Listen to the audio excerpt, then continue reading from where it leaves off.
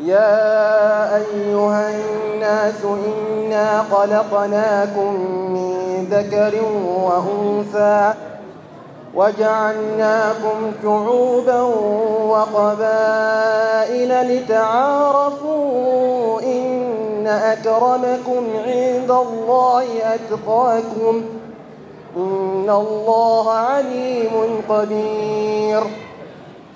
Ajandaha shirka runtii waxa weeyaan shirkaani wuxuu ahaa shir soo socday muddo oo lagaga tashanayay arrimo reerka si gaargaara buuna u soo socday oo muddadaa guddiyaa soo waday. Muddo badan baa guddiya soo wadeen. Waxaannu keennay maanta halkan inaannu idinla wadaagno xaaladda shirkaas uu ka socday. Shirkaasina ujeedkiisu wuxuu ahaa ugu weyni midnimada reerka ujeedka ugu weyn wuxuu ahaa midnimada reerka midnimada ayaa waxay tahay wax ugu horreeya oo dadku ku gaari kara guul. Taasaana waxay ahayd midda noogu horraysa oo aan ka shaqaynaynay.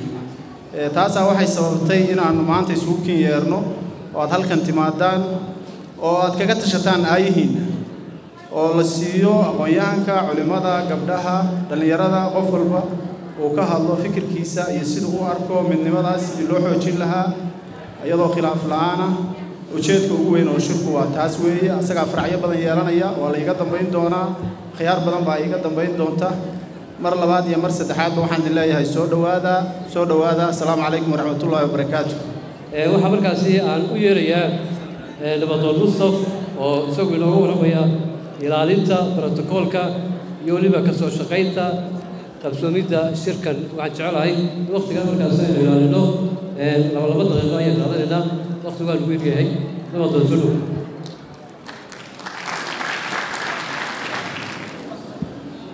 bacdi salaan waxaan rabaa waxyar inaan iftiiniyo. Howlaha aan meeshaan isugu nimid. Hawshaan sidii hore lagu dhawaajiyaba in badan ay soo socotay. Rag dhallinyar ah oo aayaha reerka inay ka taliyaan u fadhiistayaa jiray oo muddo sanad ka hor ah. Shirarkan way horey u dhici jireen sida la ogsoon yahay. Shirka maahin marka ugu laakiin waa midka ugu ballaaran oo ka dhaco kenya qaasatan caasimaddiisa nairobi. Intaa kadib raggaa waxay u fadhiisteen ay u istaageen inay dadka isu keenaan midnimada ka shaqeeyaan. Shirkan aad u jeedaan muddo fara badan fara badan ayaa la geliyey looma kalkacin muddo hal sano ah ayay dhallinyarada waxay ka shaqaynayeen in shirkan oo kale oo qabsoomo. Maxaa yeelay shir wuu qabsoomi jiray laskuma hayo inuu qabsoomi shir sanadlaha oo reerka ilin waa jiraa laakiin midkan oo kale weligiis maysan dhicin saa ogsoon tihiin dhallinyarada waxay isugu jiraan guddoomiye guud oo ah guddoomiyaha shirka furay guddoomiye bashiir guddoomiye ku-xigeen ayaa jira. Guddiyo sida guddiga fulinta guddiga marjaca guddiga khilaafaadka guddiga amniga guddiga khilaafaadka guddiga arrimaha dhaqaalaha intaas ay isugu jiraan. Marka saad aragtaan dhallinyarada quruxda badan howshan ayagaa ka soo shaqeeyey waxaan aad ugu mahad celinayaa dhallinyarada oo aanan maarata sheeg haween iyo maalin u istaagay arrintan aanan marna harsan. Ugu dambeyn shanta maalin ugu dambeysay waxaa laga yaabaa qaarkooda inaysan xaafad aadin. Marka marti sharafta waxaan ka codsanaynaa inay maarata ii annagana ay arrintaa nagu garab istaagaan. Maanta waxaa meesha fadhiya raggii maarata ii sheeg madaxdaa meesha fadhida labeentaa meesha fadhida. Waxaan annaga soo wadnay soo wadnay maanta waa idin soo gaarsiinay waxaan rabnaa in midnimada reerka meeshaan maarata sheeg loogu tashto guddi loo saaro. Waxaan rabnaa in maarata sheeg reerkan soo u midoobi lahaa. Howshiisii ayaan u fadhinaa anigaa u soo istaagnay intaanan soo wadnay. Waxaan rabnaa odayaasheenii siyaasiyiinteenii waxgaradkeenii gabdhaheenii inay arrintan nala qaataan. Misaneed ururka qabtay saa ogsoontihiin baa ururka howshu waxay ahayd inuu isu keeno sheekhaada mid kastoo joogto waxaan hadda isu keennay oo hadda shirkan xaadir ku ah siddeed reer oo sheekhaada ah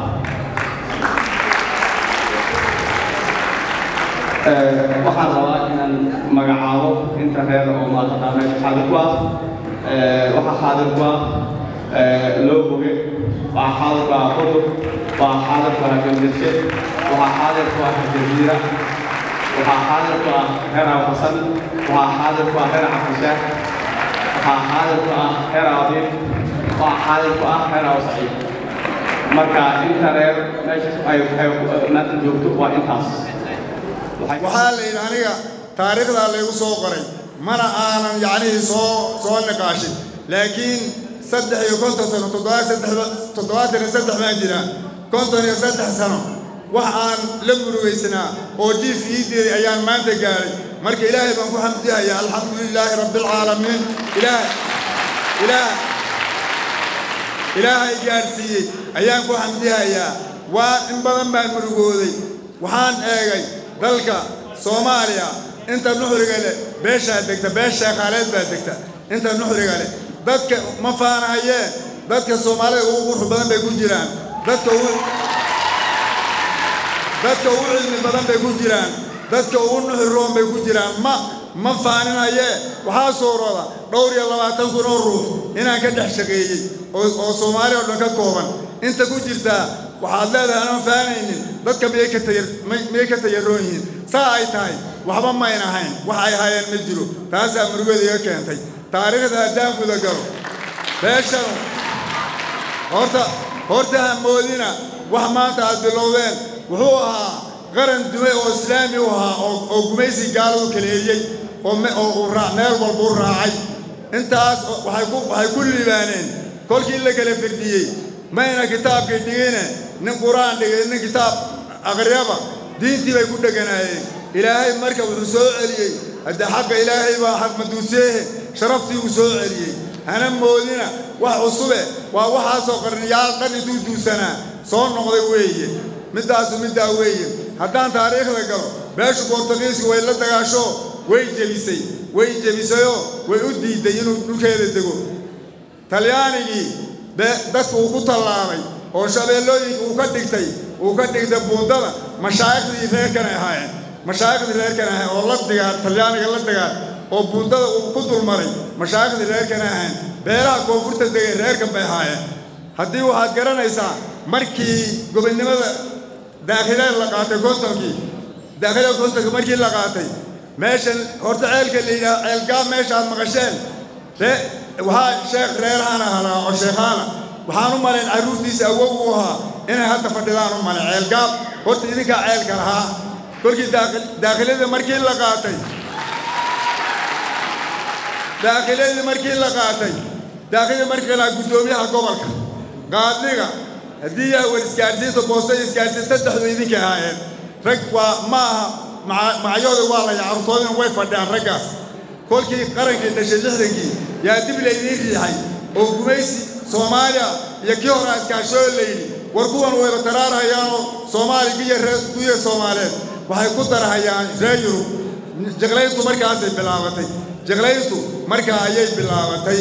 Haddii ilaaha yidhaaho markaa waktigii waxay soo socotaba markii dowladdii soomaaliyeed ay kala firxatay oo jabtay sumcaddii reerkanu soo noqotay waxay noqotay maanta waad ogtihiine inta degaanaad leedihiin waad ogtihiin inta yacnii aad leedi waad ogtihiin sharaftiinna baa soo kacday tacliinta maanta kolkii soomaaliya lidhaa idinka idinku magacaaban tahay idinka ayagu maarta brofesoorada tacliinta kolkii soomaaliya godka ku dhacday tacliimtoo la furfuri waayey idinka weeye beeshan weeye.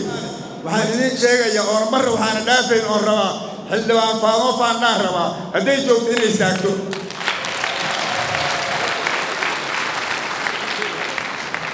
faadmo faandho waa gabadhaydii tiitiba tiifi baan ka taabtay weli maarag tiifaan ka taab inaan ka taawada weli maarag waxay tidhi gabadhaasu kolkay dhusamareeb galmudug kolkay geela soo ay soo kaxaysay waxay tidhi geela waxaan ka soo kaxiyey galmudugow dhiinoodiyo gaalka ayaan ka soo kaxeeyey bay tidhi xoolola'aan ha ka baqina bay tidhi waxaan ka soo kaxayn bay tidhi kahlaan ka soo kaxayn bay tidhi jaziiraan ka soo kaxayn bay tidhi waxaan ka soo kaxayn bay tidhi markacadee baan ka soo kaxayn bay tidhi jirmiyo jamaa baan ka soo kaxayn bay tidhi aataan ka soo kaxayn bay tidhi waxay jamiid waxaan ka soo kaxayn bay tidhi jirmiyo jamaame waxaan ka soo kaxayn bay tidhi hoosigo waxaan ka soo kaxayn kismaayo bay waxaa hadalkeedii waan la gimi habeen waan ilmeeyey. Raasaan ka soo kaxayn bay tidhi. Waxaa lagu sheekaystay soomaali habeen ku sheekaysatay war sheekaalintaasoo dhan miyay degtaa? War mintay degtaa? Halkii baan uga soo duceeyey. Taleefonka mayn halkii baan uga soo duceeyey. Marka faadmana ha loo sacabiyo faadmayde maxaa ka dhowraysaa? Guulayso faadmay guulayso haa afar waaqan ka soo jeedin oodabayti marka insha allahu tacaala waa gobonnimada waa madaxdii gobonnimada waa gobonnimo doon waxay ka waxay halka ka joogtaa. Halkii uu talyaaniga uu ku dhintay saddex iyo labaatan sheekh ciddan ka mid a yaa saddex saddex sargaal oo talyaani ah wuxuu ku dilay. Meesha la yidhaaho luuq agteeda iyo maalin xadcad ku dilay. Isagiina meeshaa lagu dilay. Taalla looma dhis cabdiwaaxid baa la yidhaha beeshan waa saddex sargaal buu ku dilay. Taalla looma dhisin ragaan waxba qabinna taallooyin baa loo dhisaa. Beesha halgangeeduu waxaan soo koobi kara ma aha maanta guul baan joognaa insha allahu tacaala. Hadda mashaayikhdii baa joogta oo salaadiin kalaa joogta oo aqoonyadankii baa jooga xildhibaanadii baa jooga anigu waan wadi lahaa afar iyo labaatan wadi lahaa waan buuxaa waan si soo gabagabayna guulaysta guulaysta dhallinyaray soo dhigtay waxaan wax ma wada qaban karo. Wax wada qabanna ma aha isku aqoonna ma aha isku aqlina ma aha isku tabar ma aha waxaan leeyahay tan waataan raadinayna waana tii ugu horumari lahaaye laakiin inta u fara dhuudhuumanaya aqoonteedii iyo xirfadeedii iyo siyaasadeeda leh ha wadaan leeyahay oyayna ka cajisi annaguna waan garab taaganoo waan soo dhawaynaynaa haddii ilaah yidhaahdo intaa haddaan intaa kaga baxo meesha laad la yidhaahdo yaa waxoogu aqoon sin dadku inuusan aada u wada aqoonin baa laga yaabaa meeshu horta afar qabiil oo reerkeennan aan hadda uu wada naaleen isku midka nahay bay u dhaxaysaa weligaa shabeellay ku taallaa labada degayba waan ka lahay hadda labada dhinacba afarta dhinacba waa laga soo cunay laakiin waa dhul fiican oo dhulbeereed ahoo daaqsin xooleed ahoo wax walba uu ka suroobi kara wey. Ninkii daaqsin dooni way ka suroobi kartaa. Ninkii tacab dooni way ka suroobi kartaa. Ninkii dooni ganacsi way ka suroobi kartaa. Waana meelaan ku bayrahsan oo afarta qoolaba ay hareeraha naga soo riixahayaan intaana waxaan ku dhaafay ilaa aqoonteeda inta kale horey baaban u sheegay waxaan leeyahay hade waxaan ku soo gaabay horta wax ila inoo bardhaweydo taariikh u doonay aan taariikh u doonay herar aan u tegay taariikhu kitaabo badan aan baarbaarnay waxaan ugu tegay axmed guray inuu nin sheekhaala yahay oo nin nin haddii alla ka dhigo cumar diina inuu yahay nin cumar diina inuu yahay baan ugu tegay laguma soo waa waxaan oo dhan halgankii maxaan ku dhaha sheekh cabdulaahi qudbi halgankiisaas wax ku ogol ma jiro. Oo ilaahay abuuray. Waxaan leeyahay waxaasoo dhanna waxa ugu wacan innaga siyaasadda ka fadhinay ee ka maqnayd baa ugu wacan. Bismi llah asalaamu calaykum waraxmat ullahi tacala wabarakaatu xildhibaanada xildhibaanka dowladda federaalka soomaaliya xildhibaanadeena gudoomiye ku-xigeenka baarlamaanka galmudug iyo gudoomiyadii hore kacda dowladda culimada suldaanka odayaasha dhalinyarada quruxda badan iyo dhammaan dhahan iyo wiilasha quruxda badan ee ka soo qaybgalay beerweynta shaqaal iyo suuliyeeda maxaan rabaa horta madaxdeena oo sida wanaagsan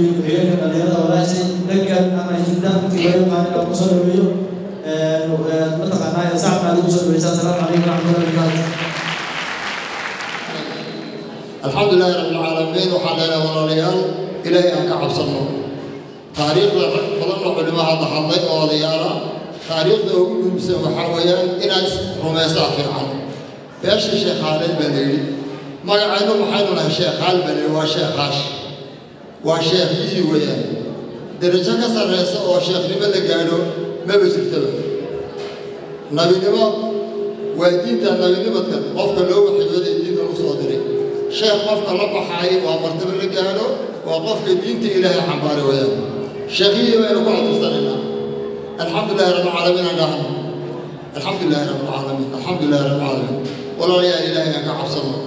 Waxaynu rabnay inaynu gaadhno oo midnimo ah oo walaalnimo ah oo wanaaga oo horumar oo khayra taqwada ilaahay baynu gaadhayaa qofka hadduu ilaahay ka cabsado waman yataqi illaaha yajcal lahu min amrihi yusra. Qofka dooni inuu faqriga ka baxo qofka raba inuu madaxnimo gaadho qofka raba inuu ciyaal yeesho qofka raba inuu meel kale wax khayr kale u helo qofka raba inuu nureedoo dhan uu ilaahay u sahlo war waa taqwada ilahay walaala taqwada ilahay aan imaano rasuulku calayhi salaatu wasalaam wuxuu yidhi ittaqu llaha walilaahi ka cabsada dadkiiow wasalluu khamsakum wa shantiina salaadood ee faradka ee tukada wasuumuu shahrakum وأدوا زكاة أموالكم والحوالين الزكاة ودرحية وأطيعوا مراكم والمرحلين ليانا ورسولكم عليه الصلاة والسلام. هذه أيضا كنت عيشان حصل نسان سيدي نسان تدخلوا جنة ربكم ورب من جنة سيوين قال هسان ورأيك وحالو يقيني شيخ عاش بلدي قبيلة ما شيخ عاش كفاوان تهي. شيخ نمت كاتب بيادر شيء دستغيسي بالقارس سنتين waxaad yeeshaa walaalayaal ragga dhalinyarada ee horteeda muuqda. Ragga waaweyn ee siyaasiyiinta odayaasha nabadoonnada ragga ee muuqdoo dhan walaalayaa ilaahay ka cabsano ilaah alla ka cabsigaasna wax ku gaadhaynaa alla ka cabsigaas maxaa kow ka ah waa inaynu waxaynu ku caanbaxnay ee diintaha waa inaynu u dadaalno ragga iyo gabdhahaba gabdhaha weliba aad baan u safaraynaa gabdhaha walaalayaa taqwada ilaahay ku dadaala وحلالها ورعليها إلهي سبحانه وتعالى تقويسها كنت ذلك. كتبتها يا أبو الله كتبتها على الأخرس دينتها على الأخرس وحن قصعة مع التاسعة وحكى لنا وخيال ويا ورعليها ورسوه يسجل هي تاسي تاسي كان وحيال من ذكري وحيال تعمل هي عاصلك الله هي موافقة الآيات بارو فرح صنعي تدكي صورة وقابي وأنو معنقها خير لكم جزيان لنا. خير لكم جزيان لنا. تدكي سوى كيوينا waxaan leenahay shukran baan leenahay waxaan leenahay oo kale walaalayaal raaso horumarka ka jiraay iyo muwaafaqada ka jirtaay waxaan aaminsanahay inuu tan sabab bay noogu noqdayba meesha lagu dayday ee khayr oo dhan iyo sugaankeen oo dhan iyo muwaafaqo oo dhan iyo ururin waa taas weeyaan. Ducadeedii bayna soo gaadhay. Nairobi iyada ku nuurtay kuwa qabaqaabayaasha iyadaa sabo ah. Waa meeshaynu ku dayanhayno magaalooyinkeennaasoo dhan waxaa loo garta iyadaa dhashay haddii aan yaradana ku seelaxdo sanadkan walbaba walaalayaal kolkii laba sano jooga dowla lagu qabtaa ijtimaac weeyaan waa kulan saddex bilood ayaa tafsiirkii ah kariimka lagu soo dhameeyey.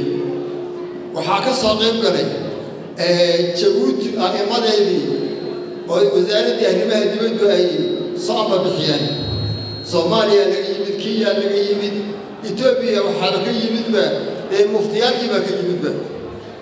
Ummaddii ilaahay u raasay ku soo jeesatay. Raasa waa magaaladeennii saldhigeennii xarunteenu wayaan magaalooyin badan baynu leenahay walaalayaal waxaan leenahay iyo kaadi. Waxaan leenahay walaalayaal hadda waxaa ka harsan waktigii la qaban lahaa maxaan ku idhaahdaa xafladda bisha dambe ee rabiicul awal weeyaan inaad ka soo qayb gashaan oo saddexdaa bilood aydun adkaysataan ama xafladaha intaad tagtaan ka soo timaadaan mustacid mawtiin yaa gacanta taaga ninkii ka qaybgeliyo waa ka insha allah biidinkaas intaas waa midka weeyaan. Waxaa taalla walaalayaal waxaa lagu akhriyaa wixii maadiha ee halkan lagu haya halkan waa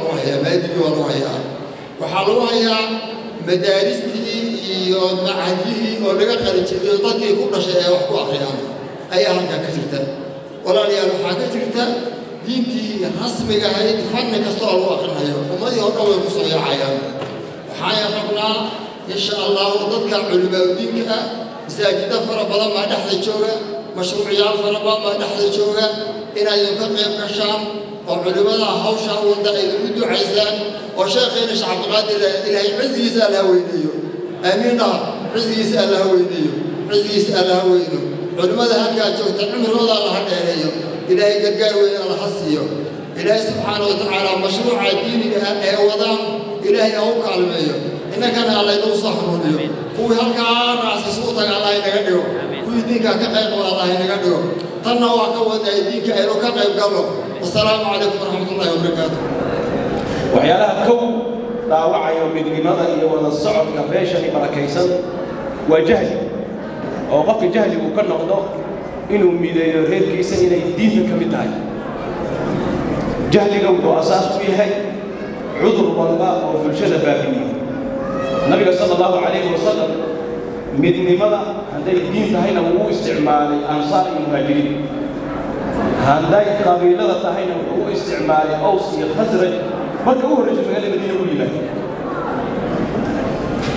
aws iyo khasraj nabi sal alayhi markuu bidaynayay salawaatu rabbi wasalaamu calayh dadka qaarkooda maanta joogo hadday arki lahaayeen waxay odhan lahaayeen waa qabali nidaam qabiilu ka shaqaynaya bay odhan lahaayeen nebi maxamed sal alla alay slam baa ka shaqaynaya tawxiid asafi alawsi walkhasraj jahliga dhibaato badan buu keenaya marka haddaanan iska ilaalin ayuha alaxibatu fillah saa awgeed waa in aqoonta iyo waxbarashada say culummada sheegeen maraakista iyo macaahidda beeshani meel walba way degan tahay in la dardargeliyo siyaasiyiintana waxa koowaad oo ummaddani ay u qabtaan inay tahay inay maalgeliyaan maskaxdooda oo waxbarasho iyo scholarship dhaliyarta quruxda badan u raadiyaan. Bulshada markaad wax barto oo waxbaristeeda iyo aqoonteeda aad ka shaqayso bulshadaasi waa dhistay si dhammaystir waxaan ku xijinayaa walaalayaal waxyaalaha midnimada dhaawaca waxaa ka mid ah qofka inuusan sugsanin oo uusan hubsanin warka looga soo yeeyey walaalkiisa sidaasayna lahayn sidaasaa la lahaa diinteenna arrintaasi arkaanka ugu waaweyn ee ay ay ka mid tahay. Weligaaga war aadan hubsanin walaalkaaga ha u qabanin. Ilaahay wuxuu yidhi yaa ayuha aladiina aamanuu in jaa'akum faasiqun binaba'in. Dhammaystira dhammaystira fatabayanuu riwaayad kalena fatathabbatuu war warka idin yimaaday caddeesa hubsada ayuha alaxibatu fillah bee qofka waxaa ugu filan wax walba oo uu maqlo inuu ka warramo ayuha alaxibatu fillah waxaa ka mid a waxyaalaha midnimada dhaawaco beel gooni ah cid gooni ah fikir gooni ah dariiqad gooni ah inay isla weynaato oo ay u aragto iyadu inay inta kale ka badan tahay ka weyn tahay inta kalena aysan muuqanin arrinkaasi waa cillad cilladaha dhaawacaya bulshadana kala tagsiinayay qofka kaa maqan fikirku kaala maqanayay caqligu kaala maqanyay cududku kaala maqanyay nebi maxamed sal allahu alayh wasalam arrinkaas maalinta madiina u yimaada u horraysu daaweeyey.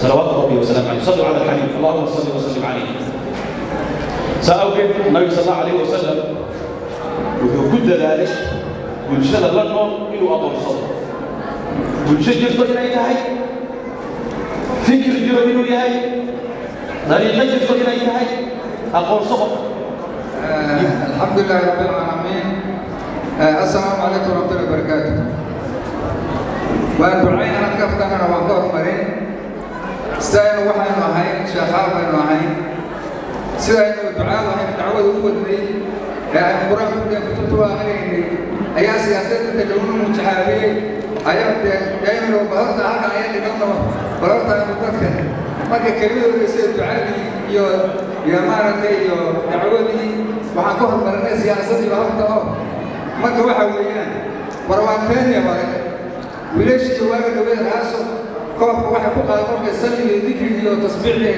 ay qaadeen bay koobka qaadeen marka waxa weeyaan waxaan rabay ismaatinkan waa fursad weyn.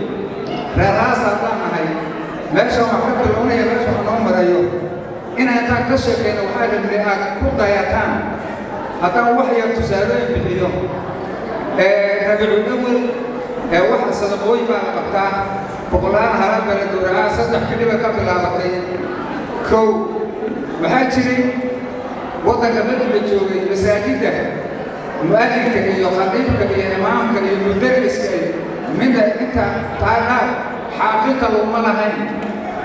Oo ka masjidka xaadha kumaanaan lahayn. Haddan afartan iyo saddex masjid baa nooga dhisan raaso kow marka raashinka la qaybsado ee beerbeer la qaybsado waxaa la siiyey sheekhaal oo dhan sida dhexbuur waxaa la siiyey labaatan kintaan ba la siiyey qabiilka midgahana waxaa la siiyey afartan kintaan ba la siiyey raasana waxaa dhacay kolkii qaxootigii la qaatay xamaalka dejinaya baan weydiin oo kolkaa dejitaan raashinka.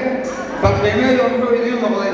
Boqol iyo labaatan kiisku noo noqday yidhaah waa xamaalka keliya xagga diinta horumarka waxaa jirta mara kitaabka ligeli naamday baa la yidhaahaa. Waxay ku timid waktigu sheekhu sheekheena alla ciseeyo sheekh abdulqaadir markuu dersiga bilaabay kolku wuxuu jasus qaatoo dhameeyo lawaabi naamday odhan jiray. Haddana maanta marayaa kun iyo laba boqol iyo lixdan iyo kow baa yaa madrasada daarulquraan ayaa ka qaljabisay macadka daaruxadiid iyadana sagaal iyo lix iyo sagaashan wiilaya gabdha isugu jira oo sagaal iyo toban gabdha yihiin ayaa ka qaljabiyey inta daaruxadiid hadda dhigata waxa weeyaan ee ku jirta qur'aanka toban kun toddoba boqol afartan iyo saddex. Marka saan annagu horumarka u gaadhnay inaan jaana isaan bay ahayd laakiin ka sheekayn lahayn marka waa idin tilmaamaynaa war muwaafaqadoogaana kow diintana iyo dacwada taandi sheekhaan marka la yidhaaho waa sheekhiyo waxaynu abubakar usadiiq aan ku bannaanaano. Aynu kow ka dhigno madaxa aynu maaragtay. Oo markaynu shirarka qabsanayno. Dikri aan ku bilowno ducana ku xusino kelimada wacdiga culimada aan maaragta ku xusino annagu saasaynu meeli jeeda nagagadayna marka waxa weeyaan war meel wanaagsan baan annagu maraynaa nagu dayda. Oo sidaanu yeelay yeela hadafka annaguna hadda waxaa weeye laa ilaaha illa allah muxamadun rasuulullah inaan waxbayna kala qaado dadka khilaafaadka waxyaabaha annagu taa shaqo kuma ligin inama alwaqfa gaar ahaan weliba culammadu inay ku waraadobaan midoobaan oo waxa khilaaf iska daayaan oo diinta dadka ku hagaan hadafka annagu kaa weeyaan haddaynu sheeqaan nahay war ma waxaynu ka dhignaa hadafkeenna koobaad ma siyaasada ka dhignaa mise dacwada diinta haddii miska laynoo dhayo dacwada iyo siyaasada mikee qaadana ma siyaasada mise dacwada diinta war dhulkaan diinta iyo qaadano siyaasada nin walba waynu inaga afka ka qaadana korku qaadayna ayna horta marino oo diinta aynu wax kasta aynu taqdiimka siino markaasoo nin walba aynu ula dhaafaynaa ilaahay cidigeedu ayna siiyo ummadda halka isugu timid ilaahay mujtamaacan fursad weeyaan wactasimuu bixablillaahi jamiican ummad diintaana wadajir qabsata oo hadafkooda an aqiimi diin qaanadduinka ka dhigta ilaahw laga war waafaqada ogaada. War dadkana ruux waliba darajadu yahay ummadda ha wax ugu qabto. Gaar ahaan culammadu ha istaageen diinta ha ku camalfaleen ummadda ha ku hageen. Dadka kale siyaasiyiin iyagoona duqeewa culima leeyahay war waxa kaloo taa uu soo raacay diinta wadaalayaal aynu qabsano barasho iyo ku-aanfalka oo nagu dayda. Annagu qofkaan wax dadaala samaynay bal meeshaan wax marayno. Dib noqotayda wasalaam warahmatullahi wabarakatuh.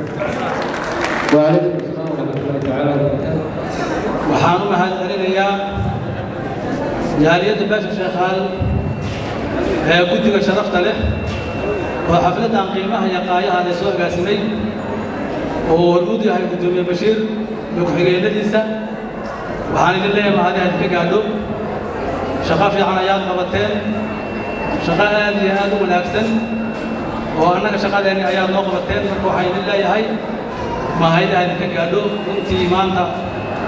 Waxaad meesha sheekhaaleed u taagan tihiin. Saddexdii dhowr iyo tobankii dhallinyarada ahayd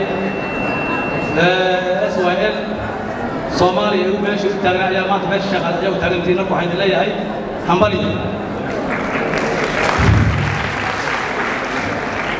waxaa kaloo mahadcelinayaa dhammaan marti sharafta meesha shirka qiimaha leh runtii ka soo qayb oo lagu casumay oo adduunka dunida dacaladeeda ka timid hadday noqoto siyaasiyiin hadday noqoto oday dhaqameed hadday noqoto fanaaniin oo runtii maanta yacni waqtigooda qaaliga u huray in beeshooda beeshii ay ka dhasheen beesha shaqaaleed inay farxaddan wanaaggan ay la wadaagaan waqtigooda qaaliga u soo huray waxaan idin leeyahay ninkana mahadi aad ka gaadho waxaa kaloo mahadcelinayaa siyaasiyiinta ee beesha shaqaaleed nin walba kasabta meesha uu ku fadhiyo ayaan ugu mahadcelinayaa gaar ahaan maanta dadka runtii siyaasadda maanta oo ku jira. Hadday noqoto dowladda kenya aan hadda joogno etoobiya dadkii nooga yimid iyo soomaaliya dadkii nooga yimid oo xildhibaanada ay ka mid yihiin iyo guddoomiye ku-xigeen faadumo laasheen marka waxaan leeyahay aad iyo aad baan runtii aan ugu mahadcelinayaa mudan alimarwooyin runtii farxad iyo waxaan dareemayaa wanaag beesha sheekhaaleed runtii waa beel weyn weeye oo beelaha soomaaliyeed maanta runtii waxaa weeye beelaha waaweyn bay ka mid tahay beesha sheekhaaleed runtii qabiil horta sideeda uu wax ku yahay muwaafaqo muwaafaqo haddii la waayo qabiilkaas waxaa weeye waxaa weeye ma muuqanayso runtii macnaha yacni tayadiisa iyo tiradiisa iyo deegaankiisa iyo runtii ma muuqanayso. Marka waxaan ku talinaa ilaahay idinkiis muwaafaqada inaad ku dadaashaan beesha shaqaaleed mudan yaali mar weynin mar labaad mar saddexaad runtii waxaa la hadlaya farxad. Ilaahay idinkii insha allah kuwa isku nacfiya ilaahay naga dhigo. Waxaan wada maqashiisnahay beesha sheekhaal inay ahayd ahaayeen weligood culummadii iyo qudaadii geeska afrika hadday ahaan lahaydeen soomaaliya hadday ahaan lahaydeen etoobiya hadday ahaan lahaydeen kenya.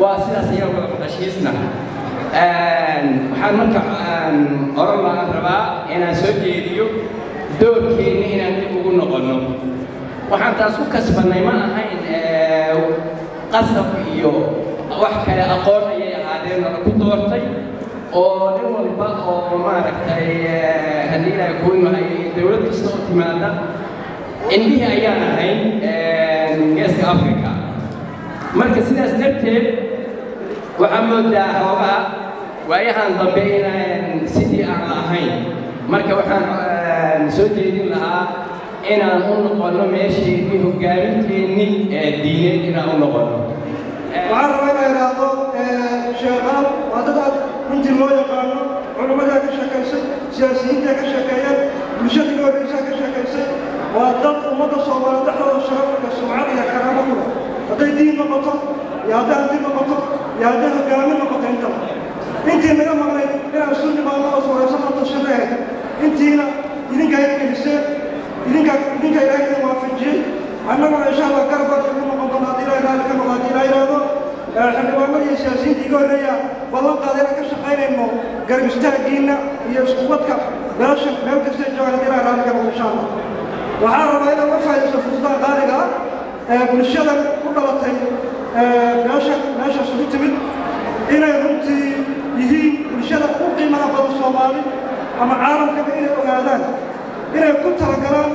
inay ummadda soomaaliyeed. Sida u hoggaamin jireen diinta ku hoggaamin jirnay haddana waxaan inaad ugu dartiin intii kale ay naga dhamana caalamku ay ku noolaan jireen oo ahayd ama siyaasaddii ama horumarkii si aan diinta ugu hoggaamin jirnay. Innagoo diintiina sii laba jibaarayna ama sii saddex jibaarayna haddii ilaha raalli ka noqo insha allah waxaa kaloo rabnaa waxaa kaloo rabnaa shirkan maanta sugnimada quruxda badan inuusan naga noqonin intaan isugu nimaadno wax isugu sheeg sheegno inaan u kala tagno ee inay ka soo baxaan wax la taaban karo oo ay beesha ay insha allah mustaqbalkeeda haddii ilaahay dhageysa waxaan rabnaa oon codsanaynaa dadkii soo qabanqaamiyey ee hawshan u soo dhabaradaynay inay annagana na kaashadaan culimmada kaashadaan ganacsatada kaashadaan la dhiso guddiyo joogto ah oo ka shaqeeya beeshaan meel kasta ay joogto haddii leena horumar kale leeyahay insha allah haddii leena waxaa jira goobo beeshaan ay jirto runtii oo dhibaatooyin ka jiraan oo deegaano oo waxaa jira beeshan ay leedahay oo maalinta bacaad qariyey ama ay qariyeen duufaanisaan xogta ku hayno waxaa xogtaas loo haysa walaasha faadmo fadho lagu matash galmudug waana galmudug ay ka jiraan holahaas waxaa rabaa dadkaas dadka aan ka dhalanay ee shaqaalaad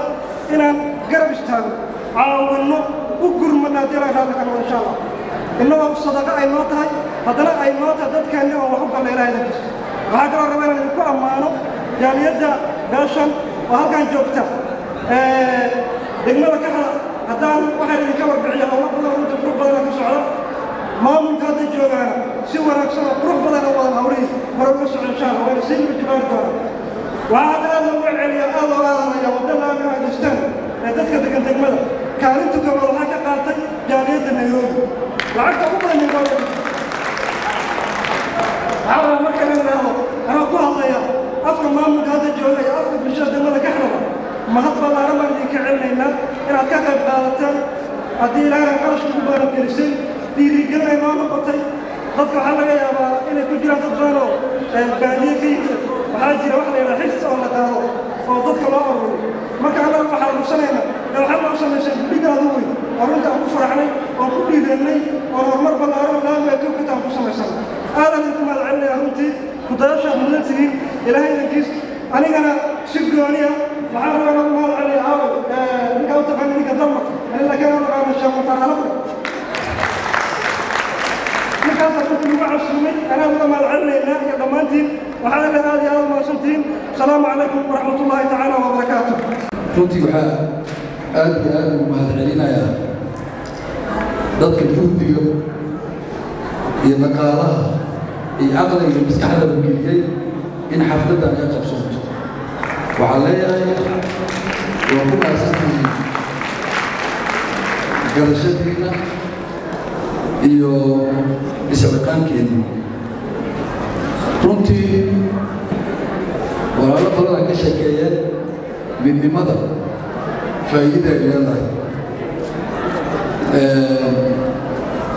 midnimada waa waxa keliya marina meesha buuqa naga noqota marina haladaan le hado xel waxayna haladaan la haado marina dadku way daaleen daalka marka wuxuu keenay mid meesha buuqa naga noqota haladaan le haado midnimada oo maanta aan meeshaas ugu nimaanay runtii waxay aaminsanahay in waddo badan inoo furi doonto. In wax badan oo naga qaldanayo inuu toosin doonto. Midnimada ka bilaabata nairobina waxaan rajaynaynaa biidni illaahi albaari inay noqoto midnimadii meel kasta oo sheeqaal ay degan tahay. Mid gaadha insha allahu tacaala. Oo idinkana u noqotaan dadkii midnimadaas bilaabay. Runtii annaga siyaasi ahaan dadka siyaasiyiinta inta badan markii xilka loo dhiibay aadaa loo tuhmaa waxaa la leeyahay meel hebelaa lagu dhiibay maxaa qabatay? Weydiyaa laga yaabaa. Wax qabadka runtii wuxuu ku yimaadaa midnimo ku yimaadaa. Markii baagab aad leedahay dad lagaaga baqa aad leedahay oo midaysan oo maxaa ku dhaha markii waxa u istaagto oo gadaashaa ka soo qaynaya la arko markaasi waxaa ku dhaha wixii ay fuudaanaya waxaad og tihiin siyaasadda soomaaliya maanta isbobi ayadana waa inay tahay. Degmada kaxda hadda ugu dambaysay oo wax badan dhexdeenna aan ogaan xogta jirta. Waanu mahad celinaya allah subxaana wa tacaala waxaan kaloo rabaa inaan u mahad celiyo dhallinyaradii ka shaqaysay ee maskaxdan caafimaadka qabta ee nadiifka ah ilaahay ku beeray inaan u mahad celiyaan rabaa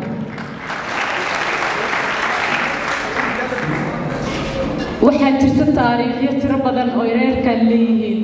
Ama soomaali oo dhan ay leedahay. Kama soo harto in la midoobo la tashto lays arko lays barto. Diintana lays faro intaas kama soo harto. Waxaan rabaa marka inaan u mahad celiyo meel walbo adduunka ay ka joogaan dadka maskaxdan caafimaadka qabo oo kale ee ku jirto ee doonaya inay beeshaan midayso oo midoobaan oo tashtaan ummadda ay la nool yihiin si nabada ula noolaadaan ayagoo wax istaray. Waxaan leeyahay hore u socda dadaala waynu gaari doonaan insha allah waxaan ku faraxsanahay maanta ay siyaasiyiinta jirto inay midaysan yihiin ay wada fahamsan yihiin inay reerkan horay u wadaan meel kastoo ay joogaan. Ama etoobiya ha ku jiraan kenya ha ku jiraan soomaaliya noocyadeeda kala duwan ha ku jiraan. Waxaan le inay baraarugsan yihiin waan uga mahad celinayaa mar kale qalbigayga ayaa wuxuu ii sheegayaa inaan u mahad celiyo dhallinyarada maanta halkaan agaasintay horena u soo agaasintay oo dadka baray in la shiro oo nabad lagu shiro waxaan rabaa marka si qaasa inaan ugu mahad celiyo maadaama ay siiyeen fursad aan dadkayga ku soo dhex galo ku arko xogtoodana aan ku ogaado ulana sheekaysto. Dhallinyarada igu casuuntay oo maanta garwaaqsatay inay ii wacaan oo mudnaantaas i siiyo waxaan leeyahay waa mahadsantihiin dhammaantiin anoon idinkala qaadaynin oo dal mar ugu horreeya waa mahadsantihiin markaan hoos u dego soomaaliya oo dhan maanta shirkaan indhahay ku wada haysaan beeshana indhahay ku wada haysaan. Dabcan shirku laba weji buu leeyahay midna hoos buu noqon doonaa midna wuxuu noqon doonaa midkan guud oo aan ugu talagalnay dadku inay isdhex galaan. Shirkan guntiisa waa inaan dadka iska barano in aan danaheena ka sheekaysano ama aan dhisano in aan da'yarteenna isbarno oo ay isbartaan daafaha dunida ay ka joogaan in aan dan danyarteenna aan ku taban taabno oon ka shaqayno sidii ay ku gaari lahaayeen heer caalami. In aan soomaali dhulka aan ka degno meel kasto aan maalgashano oo ka muuqano in aan dadka aan la noolnahay caalamka daris wanaag kula noolaano. In aan dadka dulmi iyo qabiil aanan qabyaalad ugula joogin meel kastoo aan degannahay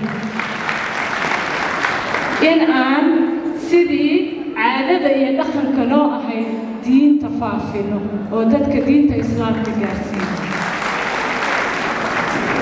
In aan sanadkiiba mar kalfadhi samaysano shir samaysano isdhexgal samaysano sidaan si la mida iyo si ka casriyeysan oo aan ku kala faa'iidaysan doono wixii caalamkaan ka soo baranay sidaan horumar ku gaari lahayn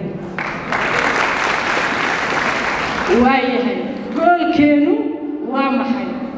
Goolkeennu waa midnimo in la helo midnimo tiyaysan inaan helno. Goolkeennu waa inaan midnimo tayaysan aan helno. Sidaas daraaddeed horumarkaagu annaga waa horumarkeena hiigsigeennuna waa inaan diinta weyneyno meel walba oo aan joogno hawsha noo taalana waa inaan hagaajinnaa soomaaliya kama soo harto waa inaan soomaaliya ku soo biirinaa aqoontii tayadiina la maray si aan soomaaliya meel fog u gaarsiino waxaan ku qasbannahay ruudkeenna inaan soo dhisno kadibna aan soomaaliya hagaajino waxaan ilaahay subxaana wa tacaala ka baryayaa inuu beeshaan barakeeyo meel walbo ay joogaan. Inta maqan iyo inta joogta mar kasta waxaan idinkula dardaarmayaa midnimada kama soo harto midnimo tayaysan ayaa noo ballana. Asalaamu calaykum waraxmatullaahi tacaala wabarakaatu dhammaan ka soo qaybgalayaasha munaasabadan weyn oo ugu horeeyo dhaqanku sultaan cabdulaahi iyo salaadiyada kale culimada soomaaliyeed gaar ahaan siyaasiyiinta oo nagala jooga oo ay heer federaal iyo heer maamul goboleed labadaba waxaa sharaf loo inala joogto xubinta soomaaliyeed oo gabadheeda walaasha faadimo faadho oo runtii ninka wiilkaasa waa xaajigeeda baa la socda isaga waan salaamayaa dhammaan waa salaamayaa salaam kadib magacaygu waa maxamed cabdiraxmaan nadiif waxaan ka tirsanahay golaha shacabka jamhuuriyadda federaalka soomaaliya. Anoo ku hadlaya magaca saaxiibada xildhibaanada golaha federaalka iyo qaybaha kale ee naga maqan oo salaanahay ka sida.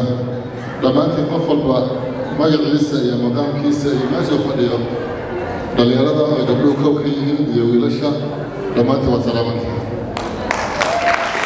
waxaan u mahadcelinayaa guddiga jaaliyadda beesha sheekaaleed ee soo qabanqaamiyey ama soo fikiray ama ka soo shaqeeyey kulanka inta ilaah oo socon doona maanta oo dhan caawa ilaa berri ilaa maalmaha dambana sii socon doona guddigaas aad u mahadsan yihiin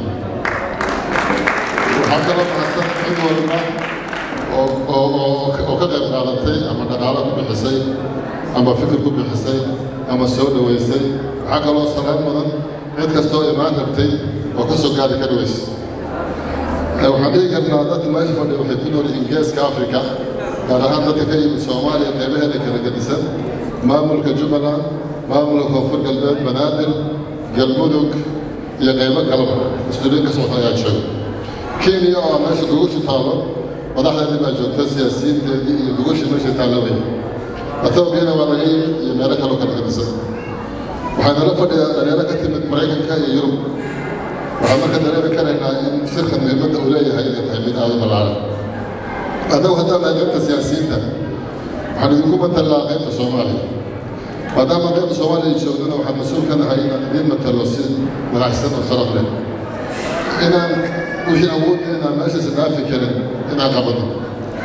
Waxyaabahan mashquul ku naha waxaa ka mid a kow inaan dhowrno midnimada beesha.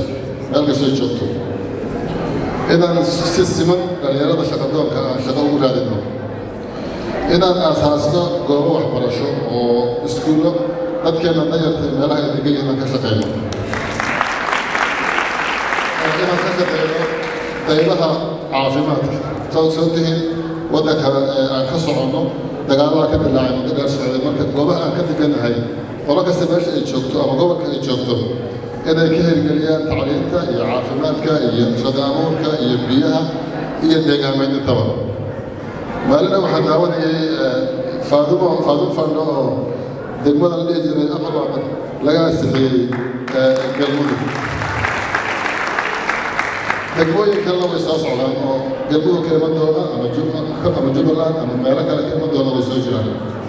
Sidaas daraaddeed kasta meeshay joogto inay horumarka muujisaa loo baahaya kenya waxaa la dhihi karaa sanadkan laba kun iyo laba iyo labaatanka doorashadii dhacday horumar fiican bay ka sameeyeen reer kenya waxaan filaynaa midda soo socota inay xilal fara badan oo ka sii inay heli doona ma rajaynan hadduu ilaahay leedahay sida sida hadalka u badnaa waxaan aaminsanahay midnimadeenna waa sharafteena midnimadeenna waa awoodeenna midnimadeenna waa islaamkeenna midnimadeenna waa horkacayna qof walbana meesha fadhiya ku kala intaba inaan ka shaqeyno midnimadu waa wax waajiba waa diin markaan midowno oo isku darno caqligeenna iyo xoolaheenna iyo fikirkeenna ayaa waxaan gaari karnaa guul qofna keligii guuli ma samayn karayo waxay dhahaan carabtu gacan keliya ma sacbayso gacan keliya haddii si walbastaa loo garaaco sac ma keeni karto waxaa kaloo le far keliya fool foolka wejigaa loo jeeda saas ma samayn karayso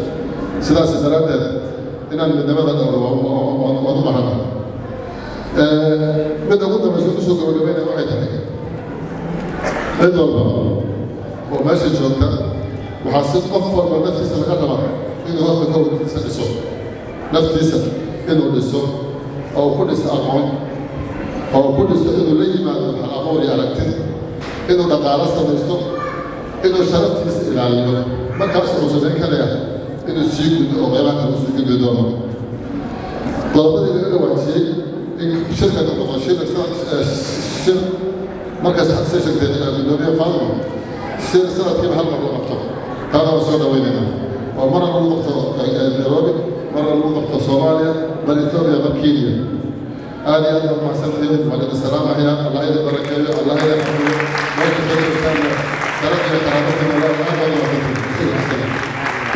kow. Kobcinta barashada diinta islaamka iyo ku dhaqankeeda iyo in si wada jira looga hortago guud ahaan wax kastoo liddi ku ah diinteenna iyo dhaqankaba. Laba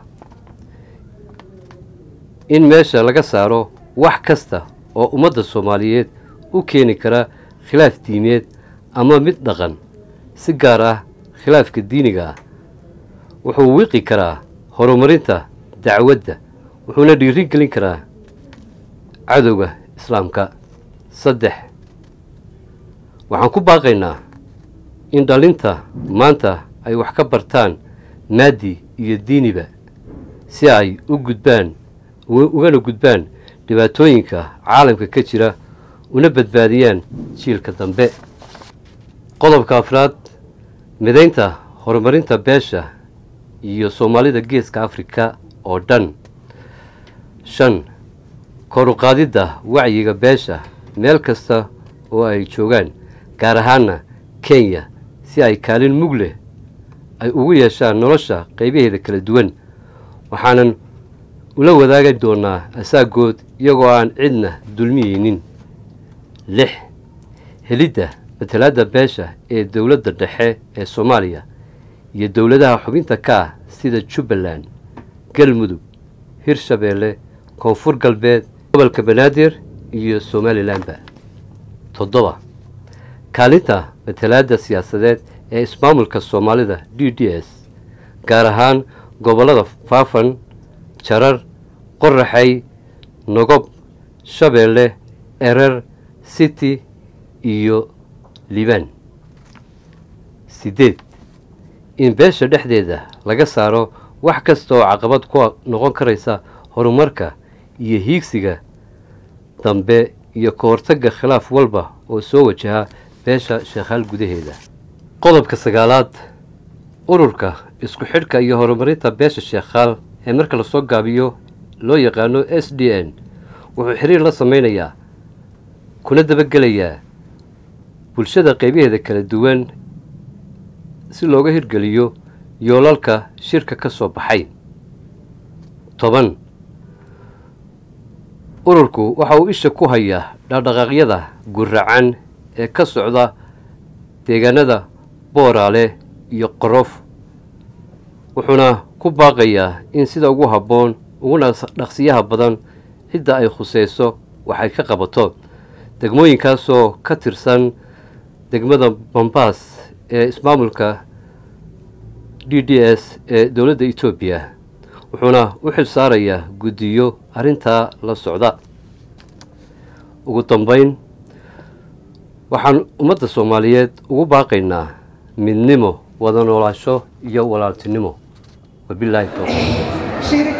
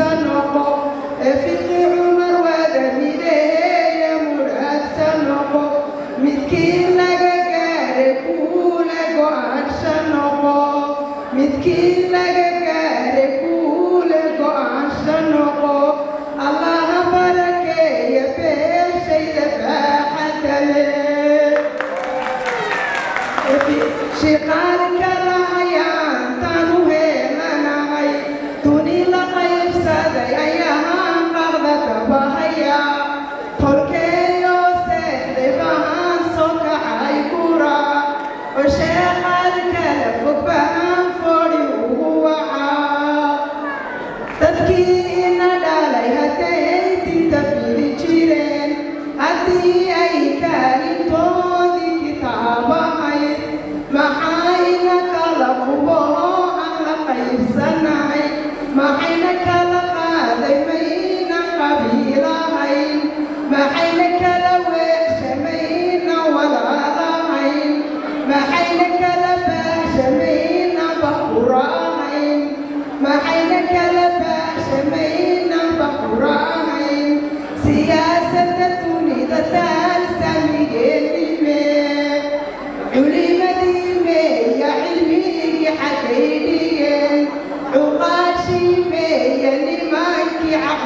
badnaa cuqaashii meeya nimankii caqliga badnaa